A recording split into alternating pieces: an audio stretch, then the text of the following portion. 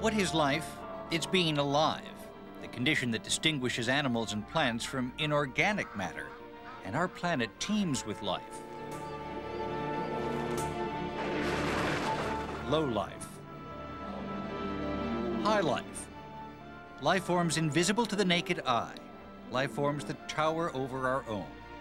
Yet for all the ready specimens, there is no simple definition of life. Some things are clear. The plant is alive. The robot, though much more active, is not. And this tortoise is very much alive. This rock is not alive, but the limpets disguised as rocks are. For many people, life is a philosophical and religious matter. In many religions and mythologies, life, especially human life, is a kind of spark, a divine gift.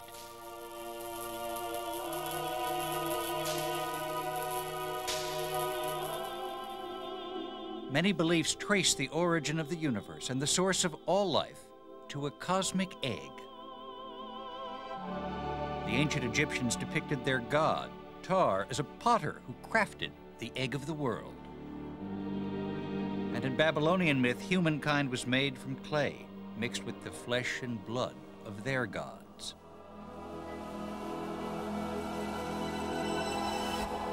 Christians and Jews alike have God creating the first human life, Adam, from earth and dust.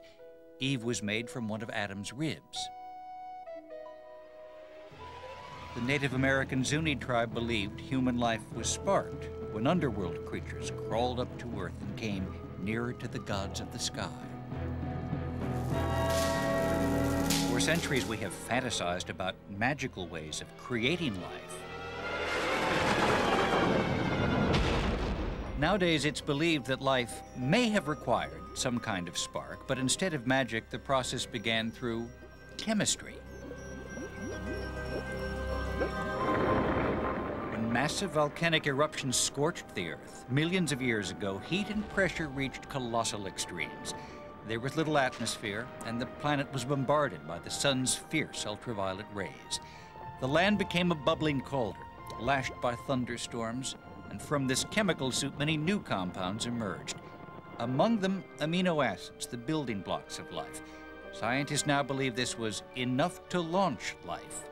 The conditions made it chemically inevitable. In the 1950s, two Chicago scientists, Miller and Urey, reconstructed the planet's primitive conditions on a smaller scale. With laboratory lightning replacing thunderstorms, the experiment yielded the same amino acids that originally created life forms. Not at all the kind of macabre human engineering featured in horror movies.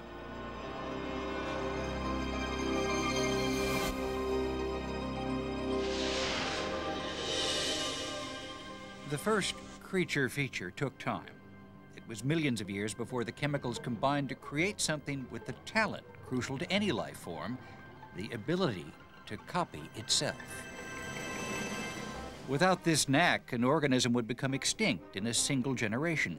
Copying is a key rule for life. Many primitive organisms reproduce by combining and dividing.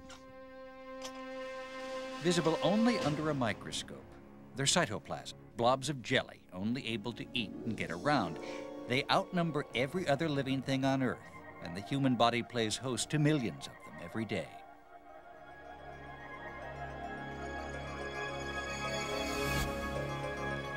Primitive life can multiply at breakneck speeds. Colonies of minuscule mold can cover a piece of bread in just a few hours.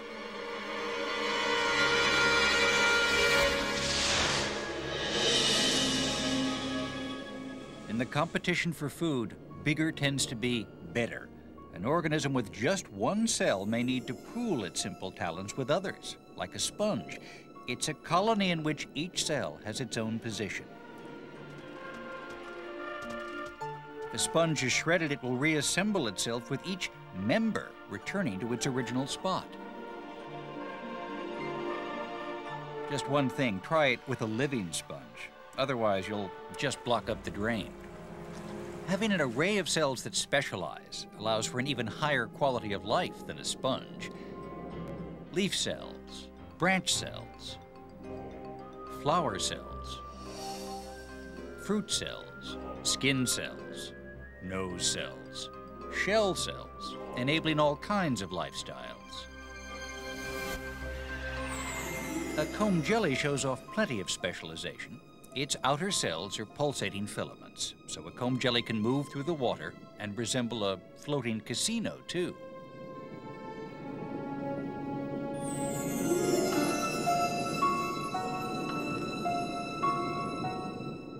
Multicelled life comes in a mind-boggling array. The heavy, the tall, the fast, the strong, the smart, the colorful, the just plain weird.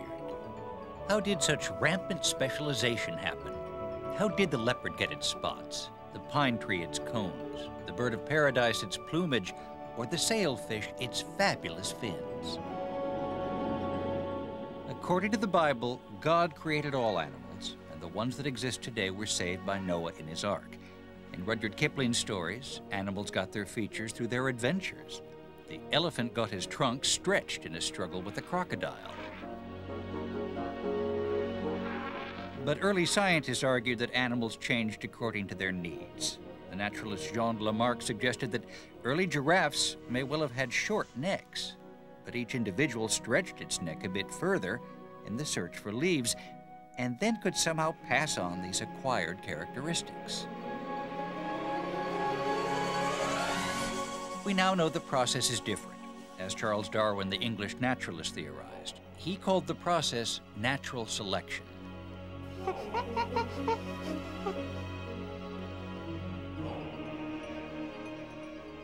he imagined that as a life form copies itself, it produces sometimes an imperfect copy, a mutation. Most mutations are inferior individuals and don't survive, but every now and then a useful mutation occurs, something that gives an individual an advantage over its parents, like being less visible to predators. Copying itself, it's the first of a slightly new breed. It was on the Galapagos Islands that Darwin noted that various species of giant tortoises had evolved to match their environment. On an island with bushy vegetation, the tortoises had a notch in their shells, allowing them to reach up to higher food.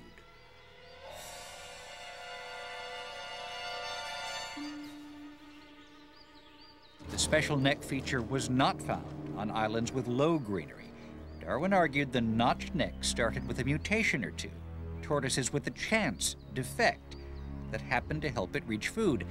Because they ate better, they lived longer and passed on the trait. Put simply, it was the survival of the fittest.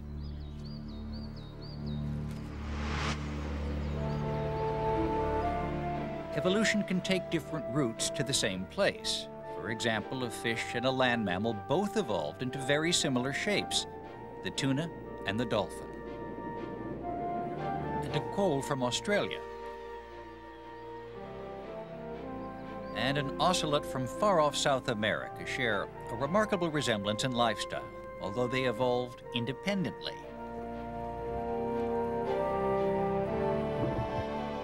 Evolution results in some great solutions, but it's chancy and slow. For each useful mutation, there are thousands of pointless ones. But life has a way of improving the odds and accelerating the evolutionary process. It's called sex. And it's caught on with some of the smallest creatures. Hydroid polyps on the seabed reproduce in two stages. First, they bud and release different tiny organisms. Then each of these release sex cells, which unite with another individual. Two simple organisms create a completely new one. It's sexual reproduction, plain and simple. By combining in order to reproduce, there's a better chance of new, improved features in the offspring, and that gives a species a better chance of adapting to changing conditions.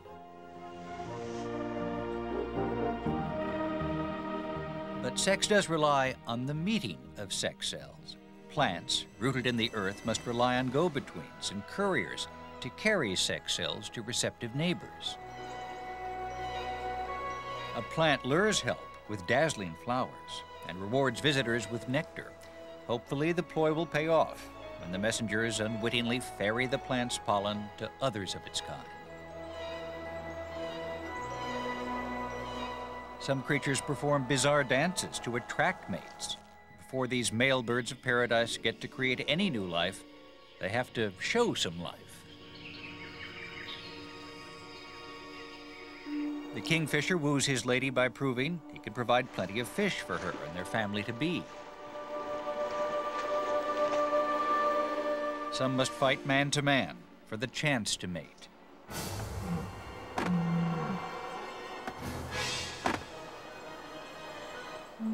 Elephant seals don't exactly fight by the Marquis of Queensberry rules. But then the urge to create new life finds colorful expression among humans as well. There's no shortage of plumage.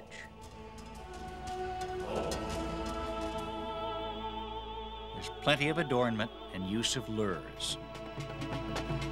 There are endless rituals to endure and gyrations to perform along the way. Although sexual reproduction requires vast amounts of energy, nature has not found a better way of passing on characteristics and enabling change. And change it can. Long ago, Chinese farmers learned that by planting high yield rice, along with rice which ripened quickly, they got high yielding, fast growing rice.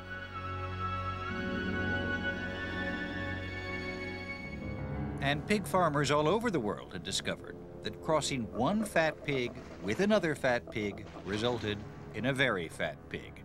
This Leicester sow weighed about the same as a small truck. But attempts at breeding weren't always reliable. No one understood why until an Austrian monk named Gregor Mendel hit upon the basics of hereditary genetics in the 19th century. He crossed red and white sweet peas and found the first offspring were all red. But when plants of the new generation were crossed, white flowering plants appeared. It seemed that all characteristics are passed on and can surface in later generations. That knowledge has now led to heartier wheat, crunchier apples, bigger sticks of celery, tomatoes in size small or large and there were even juicier oranges to be engineered. An essential for all life is growth. The seed grows into a plant.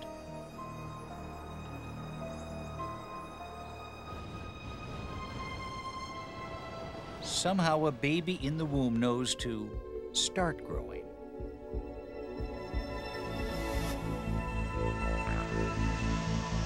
For life to reproduce, it needs to grow. Otherwise, birth would be impossible. Rather than which came first, the chicken or the egg, it would be how did the egg ever come out of the chicken? Life needs to arrive in small packages and grow in order to reproduce. It's not easy when the creature has a hard shell. Snails just add to their shell size as they grow. They are the world's official slowpokes at 0.03 miles per hour. Others, like the lobster, must move out and grow larger premises from time to time. On the way to adulthood, some animals undergo complete change into totally different forms, each suited to a particular stage of life. A caterpillar is an eating machine designed to grow quickly. Transformed into a butterfly, it becomes a breeding machine. Jellyfish drift for months, looking more like plants than animals, until they find a suitable place to develop into adulthood. Growth has its limits, although not in the movies. Some real dinosaurs were huge, but their size made it difficult to adapt to changing conditions and could have caused their downfall. 400 years ago, the Italian Galileo Galilei worked out that 300 feet was as tall as any living thing could be. The California sequoia tree matches this almost to the foot. But where do the instructions for growth come from? All living things contain their own blueprints in an astonishing chemical called DNA, raveled up inside every cell. One double helix of DNA stores the instructions to build a complete organism, whether it's an ant, an oak tree, an elephant, or a daisy.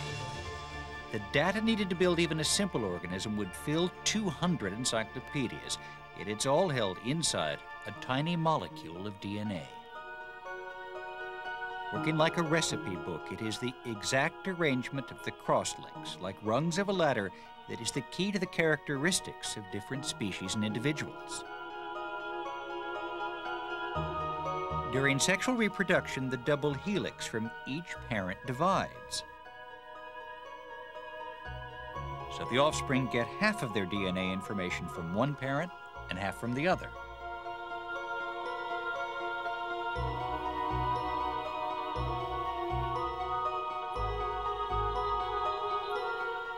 The new generation may get the male parent's coloring and the female's aroma,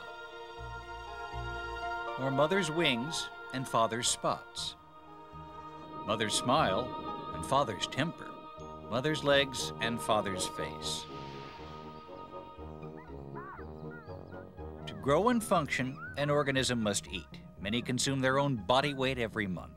Some animals are carnivores, others strictly vegetarian, it's only plants that can create their own food.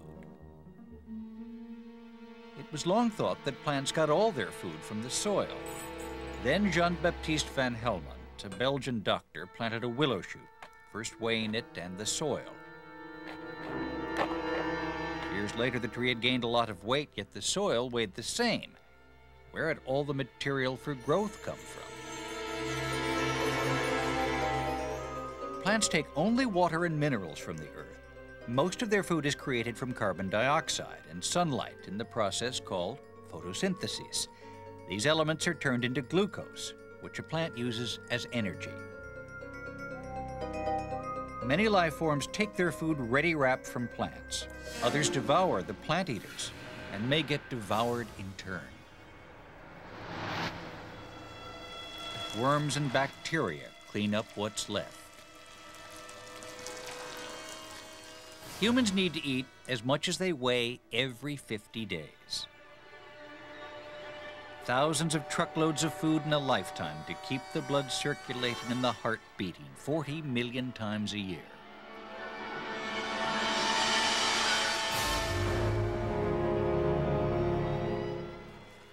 The need to eat creates some strange relationships. The Portuguese man of war can fall prey to tiny raft snails, which slowly devour the larger animal, stinging tentacles and all.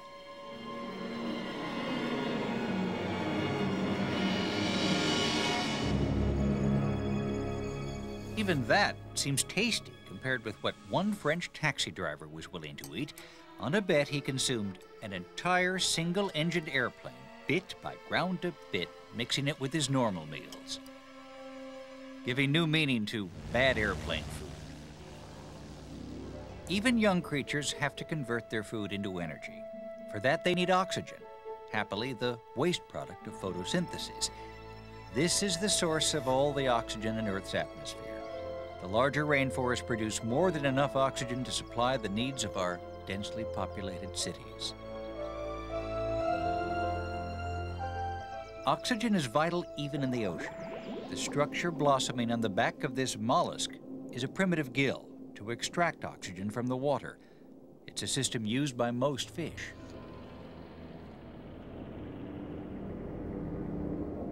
Water is passed over the gills, oxygen extracted, and the water pumped out, usually through a fine filter to eliminate debris. The primitive hagfish has no filter and must constantly eject waste. Mammals and reptiles get their oxygen by expanding their body cavities, creating a vacuum, which air rushes in to fill. In its lifetime, a cheetah breathes enough air to fill the Houston Astrodome.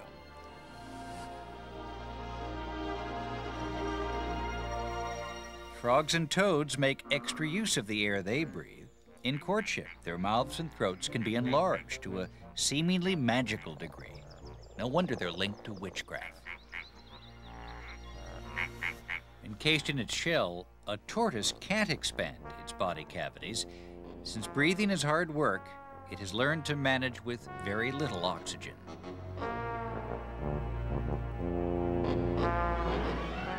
Birds are incredible breathing machines. Their remarkable lungs and air sacs allow them to breathe in and out simultaneously. With permanently inflated lungs, skylarks can sing without pausing for a breath.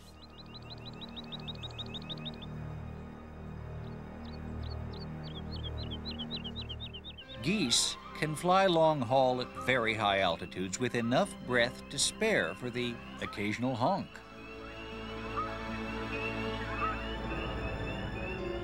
But oxygen isn't always a requirement for life. Deep in the Pacific Ocean, strange bacteria survive without sunlight on gases from volcanic vents. In a bizarre food chain in the permanent twilight of the ocean floor, translucent tube worms six feet long absorb the ghostly bacteria through their skins.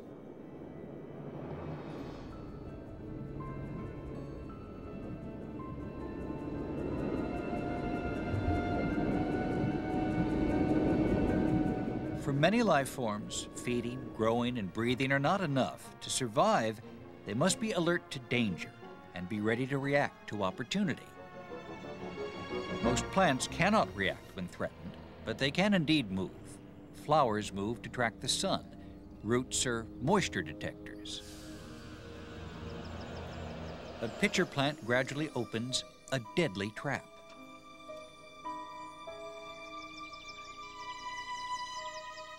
Some plants react with a vengeance and catch much needed food. Animals have developed an alarming array of reactive equipment. The pit viper can react to prey hidden in the dark, thanks to its infrared vision. A warm blooded creature can run, but it can't hide from the viper for long. Bats use sonar, with squeaks so hype they can't even be heard by human ears. But the moths who are their prey have their own reactive capability extra sensitive hearing. A shark can swim six times faster than a human. It reacts to the low frequency sounds put out by creatures in distress. In the face of danger, some animals can make only a passive defense. Others can leap into action.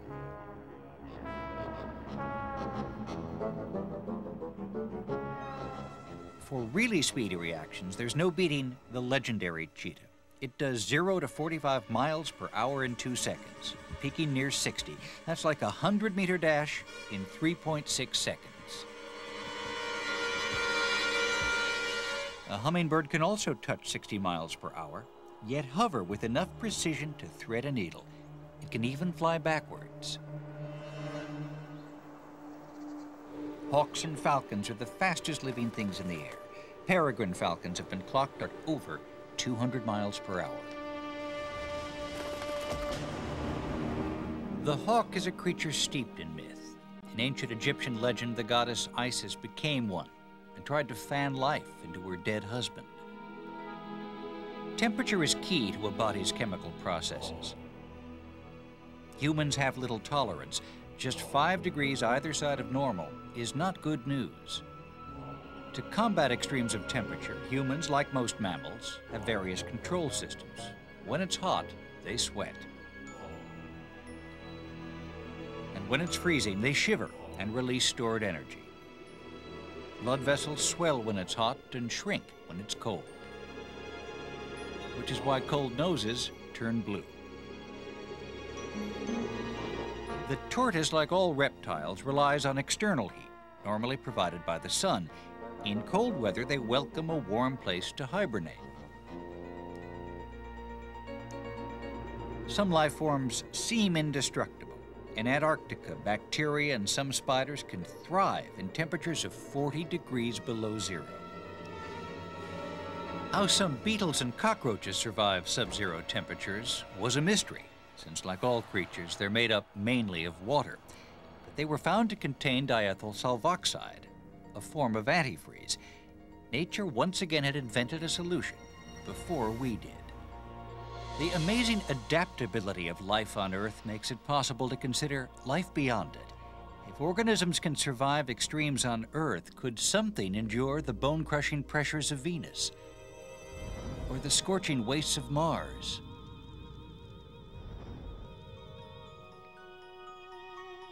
These microfossils from a meteorite believed to have come from Mars raise new questions. Was there once life on Mars? Can we assume all life originated here on Earth? Or could it have started elsewhere and fallen to Earth, locked up in a meteorite? In a sky brimming with stars and their planets, who's to say we're alone in the universe? The more we learn of life, the more the boundaries blur. Take cells from inside a creation that consumes energy, respires, controls its temperature, and responds to stimuli. It can seem remarkably alive, yet it's not life at all.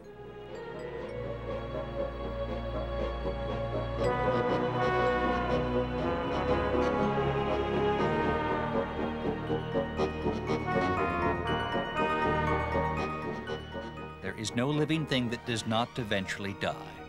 Life wears out.